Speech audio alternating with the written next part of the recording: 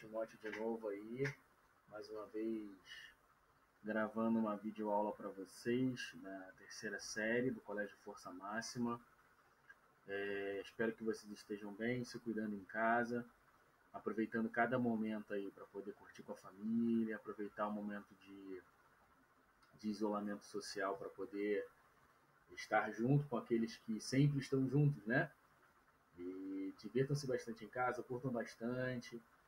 E não esqueçam né, de estudar. Estudar também é essencial nesse momento complicado. Nós estamos afastados de vocês, da escola, da instituição, mas crendo que tudo vai dar certo. Tá? Então, em breve estaremos juntos, mas enquanto não podemos, não podemos estar juntos fisicamente, em sala de aula, para brincar, para contar piada, para se divertir e principalmente para estudar. Estamos aqui para poder revisar algo aí que que é cai constantemente aí nas nossas lições do dia a dia, né? Os nossos exercícios de apostila, cai no vestibular, enfim, vamos dar continuidade aí aquilo que a gente sempre tem feito, né? Vamos lá. Nós vamos falar de sistemas lineares, ok? Estamos no módulo 13, apostila 3. Página, vou colocar aqui a página, ó.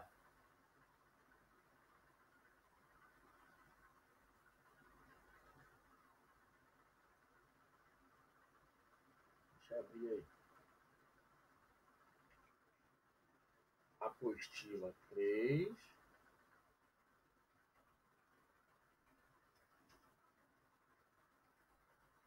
módulo 13. Páginas. Como a minha página está trocada em relação a vocês, eu estou sempre colocando, tá?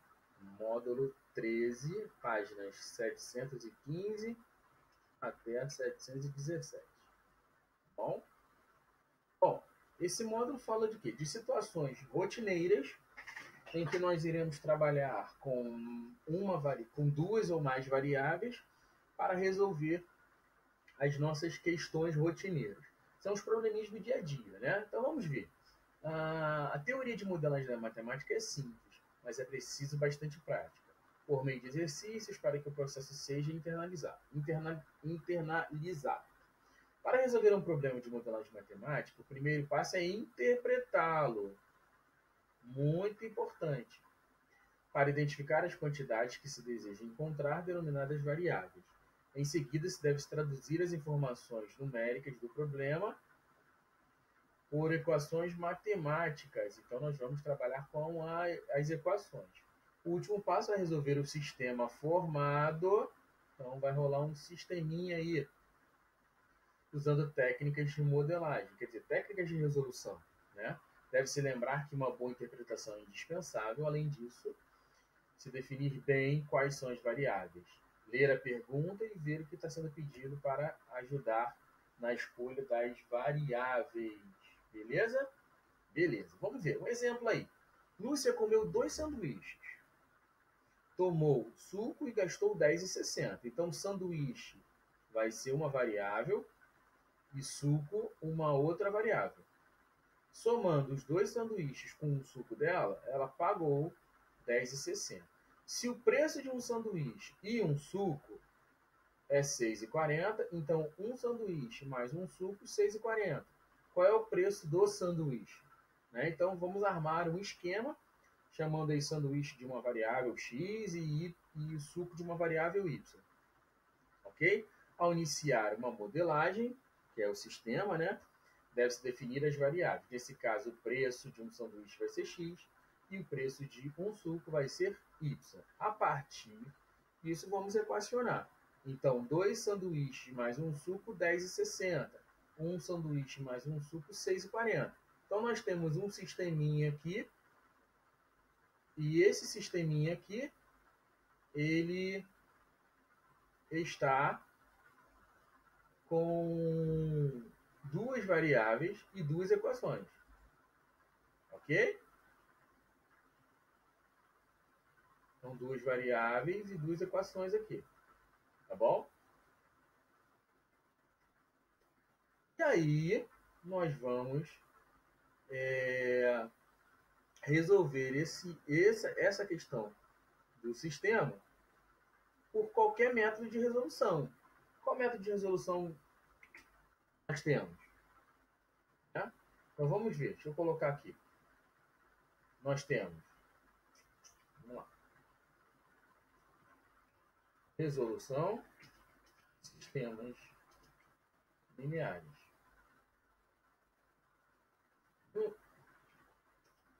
Adição, dois. Substituição, três. Comparação. Ok? Fechado? Tá? Óbvio que os sistemas lineares nós temos escalonamento e tudo mais.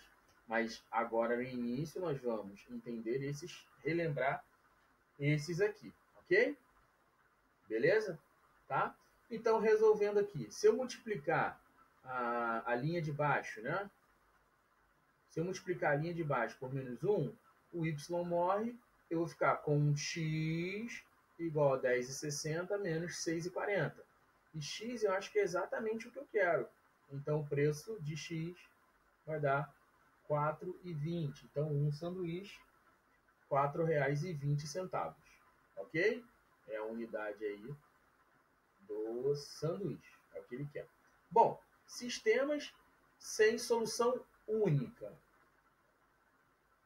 Vamos ver. O que, que nós temos de sistemas sem solução única? Quer dizer, se só tem uma solução, ele tem um nome definido. Tá? Então, com uma solução, é o sistema possível determinado, SPD. SPD, sistema possível determinado. É, sistema possível e indeterminado é aquele que tem múltiplas soluções. Então, sistema possível determinado, uma única solução. Sistema possível indeterminado, mais de uma solução, aqui ele coloca, não coloca múltiplas, tá? E o sistema impossível, SI, não possui solução. Ah, quando que isso vai acontecer, Timóteo? O sistema impossível. Quando nós tivermos assim, 0x mais 0y igual a 10. Quer dizer, zero unidade de uma coisa mais zero unidade de outra está dando 10. É meio que impossível isso acontecer, né? Vamos ver alguns sistemas mais precisamente, os SPI, possuem soluções genéricas, já que possuem mais de uma solução. Essas soluções genéricas significam funções, desculpa, soluções, são soluções uma em função da outra, né? Então, soluções genéricas são aquelas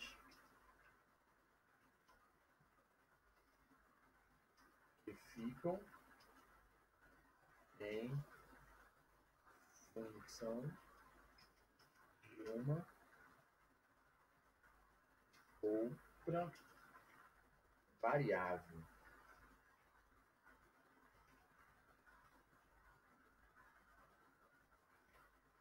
Ah, então x, x tem um valor, mas y e z não tem. Então vamos ficar em função de x, ok? exemplos aí, para a gente poder cair nos exercícios. Em uma transformação química, a, conservação de massa e dos elementos químicos envolvidos, o que pode ser expresso em termos dos coeficientes e índices das equações químicas. Vamos ver. Escreva um sistema linear que represente as relações entre os coeficientes x, y, z e w nas seguintes, na seguinte equação química. Bom, X, provavelmente é o número atômico aqui, né? 8 H18 YO2 Z, o equilíbrio, né? Z, CO2 mais WH2O. Então, vou ter que fazer o equilíbrio aqui, ok? Então, x é essa primeira y é essa segunda. Z a primeira, W a segunda. Né? Então, Z eu tenho carbono 8, 8x, que é igual a Z. Ó, então, quem tem C, ó, então carbono 8x, carbono aqui é Z. H, H aqui, H lá. Né? Então vai ser é, H18x é igual a 2, 2W, ó, aqui, ó. 2W, H está com W e aqui H está com X. Então, H é igual a 18x, que é igual a 2W, C igual a 8x mais Z, que é igual a Z, e O, aqui é 2Y, é igual a 2, 2, é, O é 2Y, que é igual a 2Z,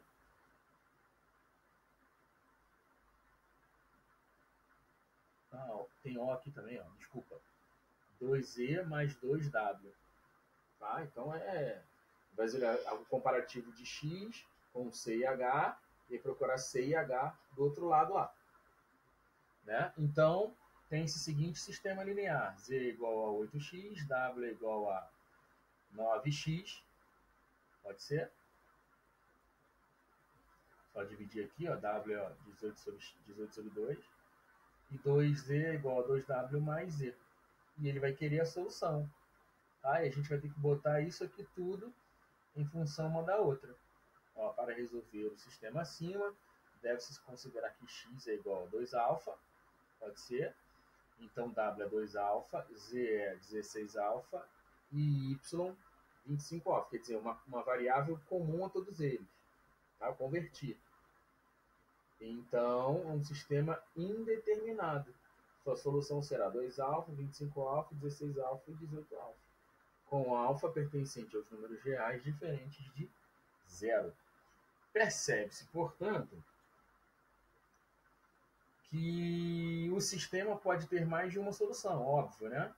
De modo, de modo com a necessidade, pode haver uma solução mais adaptada e melhor para cada situação e pode obtê-la, e para obtê-la basta variar o valor de alfa.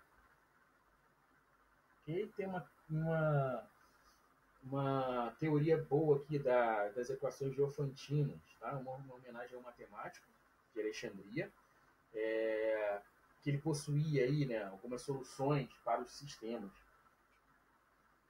Né? Então, é, vai cair num sisteminha com três com duas variáveis iguais igual a um coeficiente. Então, se eu tenho eu tenho aqui, ó, ax mais by igual a c.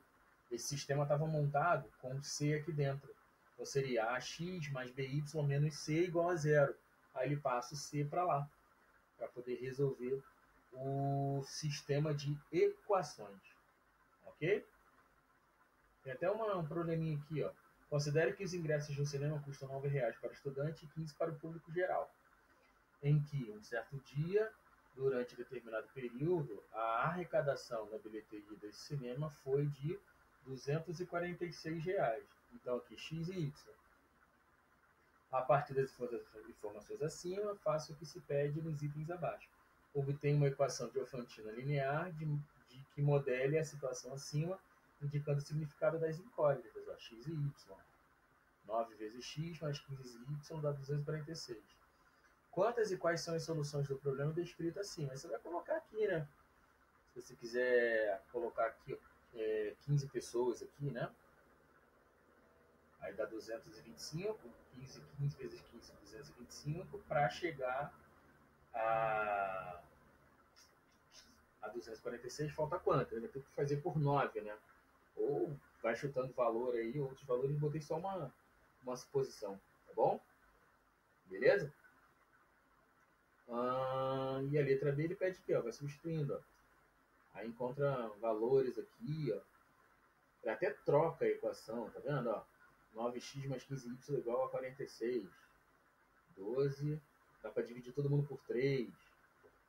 Ó, fica 82, fica mais fácil. Então, x vale 3, y vale 5. E aí, dá 1. Faz o MMC, o MDC, né? Dessa situação, problema aí, ó. Aí ele vai encontrar vários valores aí para x e y que deem, que dão a solução do nosso probleminha aí, tá bom? Vamos agora migrar para uma folhinha lá de baixo para a gente poder fazer dever. Vamos lá, deixa eu passar aqui. Então, minha apostila é diferente, então os exercícios estão em posição diferente, em posições diferentes. Mas vamos lá. É... Exercício conceitual número 1. Um. um hospital administra 2016 miligramas de certo medicamento em cápsulas para três pacientes em conjunto por mês. O paciente A usa 10 miligramas, o paciente B 12, o paciente C 15 miligramas. O paciente A toma metade do número de cápsulas de B. E os três juntos tomam 163 cápsulas por mês. Quantas cápsulas o paciente C toma mensalmente? Bom, primeiro, vou montar um sistema aqui para que a gente possa identificar. Né? Então, tem paciente A, B e C. A, B e C são os pacientes. Ok? Então, ele fala que o paciente A toma 10 miligramas.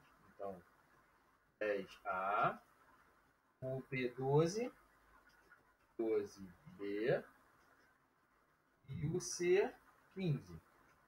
Isso tudo dá no final 2016. 2016 digamos, né?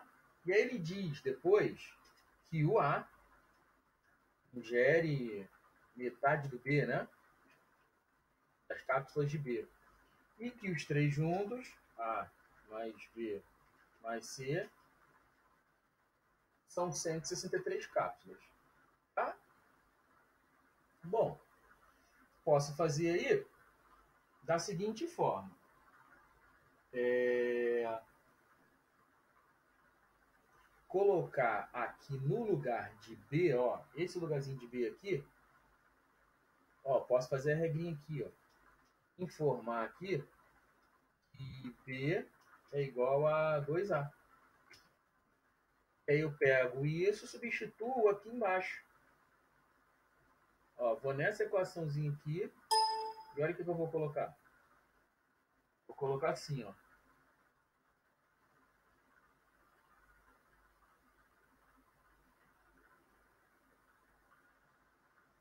Não, posso colocar aqui B igual a 2A. É, B igual a 2A. Pode ser? É, pode ser. E aí eu vou colocar aqui, ó.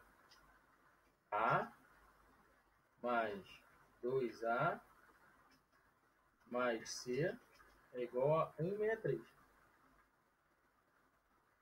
Tá? Então, 3A 3A mais C é igual a 163 já tem uma equaçãozinha aqui. Posso dizer também, ó, esse conceito aqui. C é igual a 1, 163 menos 3A.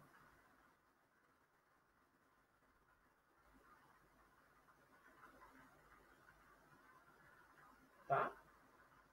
E aí eu posso chegar e substituir lá em cima tudo com A. Na primeira aqui, ó. Na primeirazinha aqui, eu já venho e substituo. Ó, vamos ver. Então eu tenho 10A. É, 12. Como B é o dobro de A, então vai ficar 2A. Mais C, 163 menos 3A. Isso vai dar 2016. Então eu tenho 10A mais 24A menos. Aqui, galera. menos 3A igual a 2016 menos 163. Concorda? O que, que sobrou?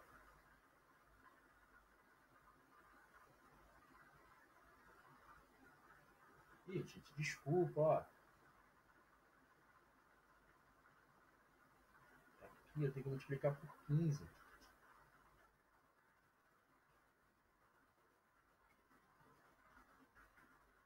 Multiplicar por 15 aqui, 15 na frente, né? Agora que eu vi aqui.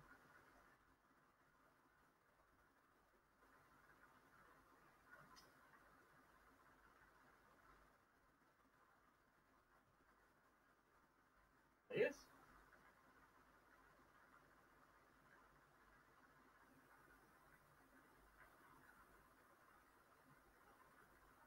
É isso? É isso mesmo. Aí esse carinha aqui também tem que multiplicar por 15, dá 2.445. Deixa eu fazer aqui. Aí como é que ficou? É... 11A é igual a 429. Então A é igual a 39. Mas ele quer C, né? Então B, que é o dobro de A, é igual a 78. E C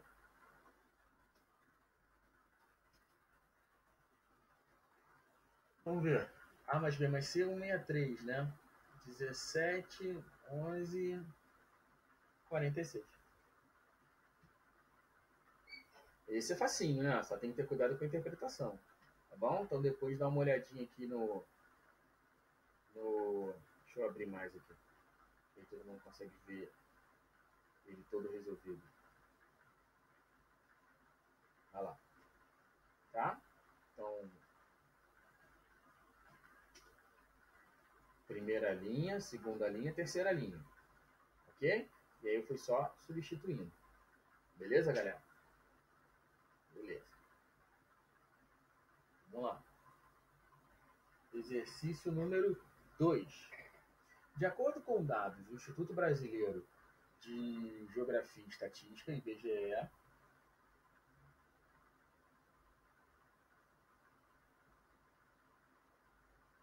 desculpa, parou aqui.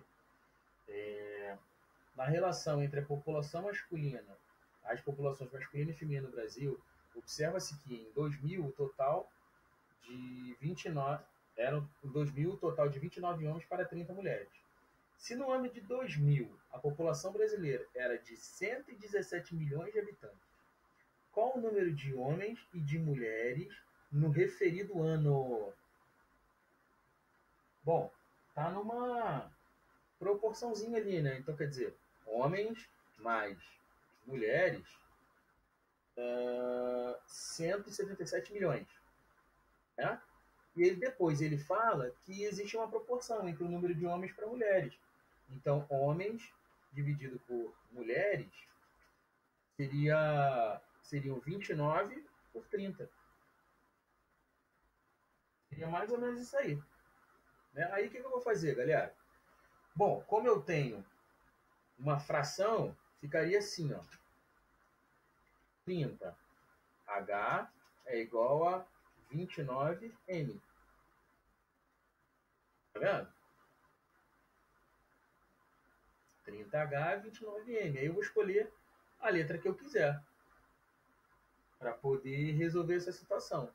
Eu posso fazer assim, ó. H é igual a 29M divididos por 30. E aí vou jogar lá em cima. Ó, jogar lá na primeira. Vai ficar. Aumentar também. Lá na primeira, ó. 29M divididos por 30 mais M igual a 177. Aí vou ter que fazer em MC. Vai ficar assim, ó. 29M mais 30M igual a, deixa eu fazer aqui, 117, 177 vezes 30. Rapidinho, essa conta eu não fiz. 177 vezes 30. 5.320. 5.310, desculpa. E aí eu vou somar lá. 59M é igual a 5310.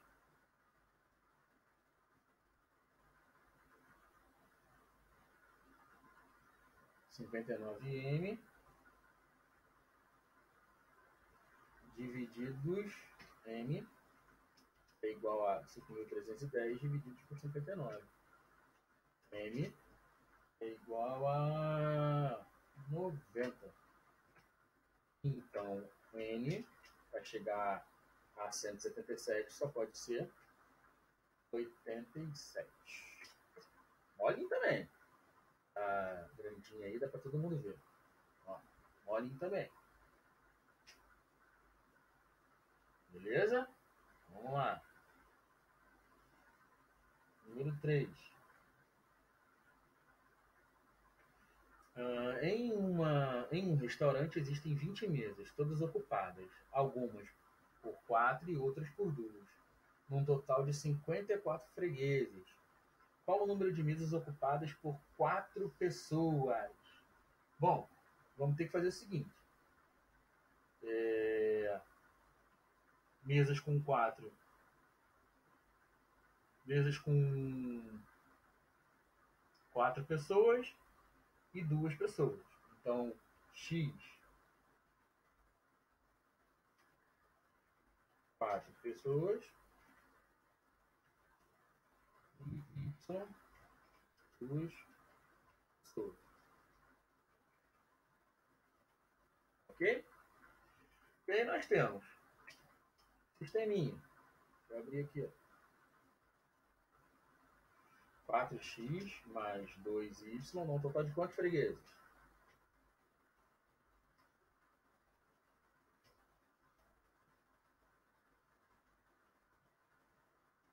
Cinquenta e quatro fregueses. Né? E são 20 mesas. Então x mais y igual a 20. Mesas de 4, mesas de 2. Posso multiplicar essa equação aqui de baixo por menos 4 vai ficar assim, ó. 4x mais 2y igual a 54. Ó, presta atenção, hein? Vou multiplicar. Multiplicar que é x. Então, vou multiplicar a equação de baixo por menos 2. Bom? Ele quer x, né? Ele quer de pessoas com 4 pessoas, aí que é x. Então fica assim, ó, menos 2x, menos 2y,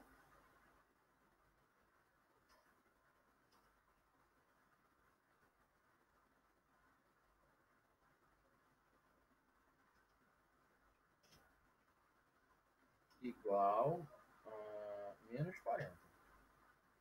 Aí eu somo as duas. Vou ficar com 2x igual a 14.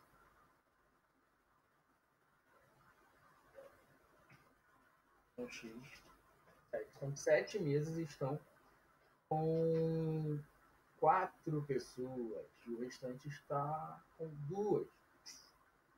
Estão com duas, né? Beleza? Tranquilo, né? Interpretando correto, fazendo a legenda, dá tudo certo. Ok? Vamos ver aí, número 4.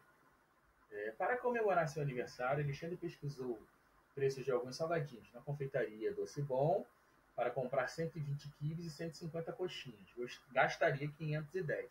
Na confeitaria Vovó Tânia, para as mesmas quantidades de quilos de coxinha, o preço de cada quibe era 10% menor e o de coxinha 20% menor. Em comparação aos preços do Doce Bom, é, o gasto de Alexandre seria de 432. Resolvendo o sistema a seguir, encontramos os valores de x e y que representam respectivamente o preço de cada quibe e de cada coxinha. E aí ele monta esse esqueminha aqui, ó, 120x mais 150y, 510. 120 vezes 10% menor, mais 150, 20% menor, 432. Então, o preço em reais de cada coxinha na confeitaria Vovó Tânia é de. Bom, vamos lá. Primeira coisa que eu posso fazer é pegar essa equação aqui de cima e dividir todo mundo por 10. Então, vai ficar 12x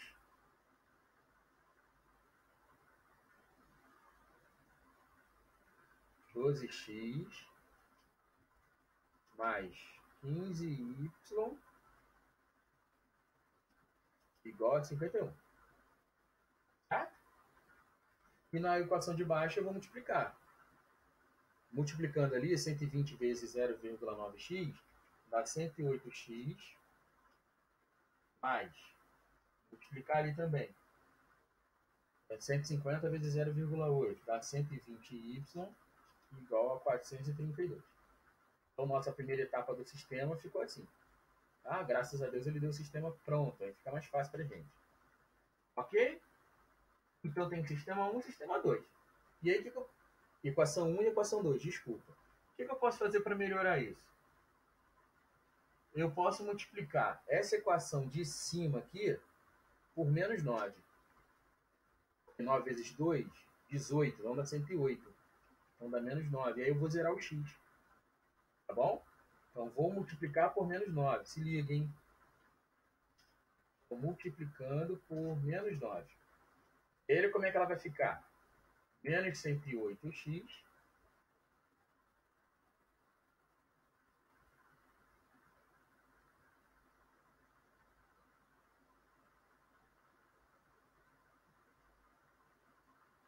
é, menos 9 vezes 15. 15 vezes 9. 135 y igual a 459. E a outra eu repito embaixo. 108x mais 120y igual a 432. E aí eu vou resolver. Né? O X vai morrer. Opa, calma aí, calma aí, calma aí. Aqui fica negativo. Bom, eu vou resolver. O que, sobrou? Vai sobrar Y, né? Vai sobrar menos 15Y igual a. Agora tem que fazer aquela conta de subtrair ali. Igual a menos 27. Ok? Dividindo um pelo outro aí. Y é igual a 1,80, 1,8. E foi exatamente o que ele pediu. Ele pediu exatamente o preço que corresponde aí, o preço da coxinha na confeitaria vovó Tânia. Show? Show de bola, tá? Bom, fiz esses quatro aí é, para a gente poder não perder o fio da meada, tá bom? É, depois tenta fazer essa número 5 aí, qualquer dúvida, Fala com a gente. Valeu, galerinha. Um grande abraço até a próxima aula.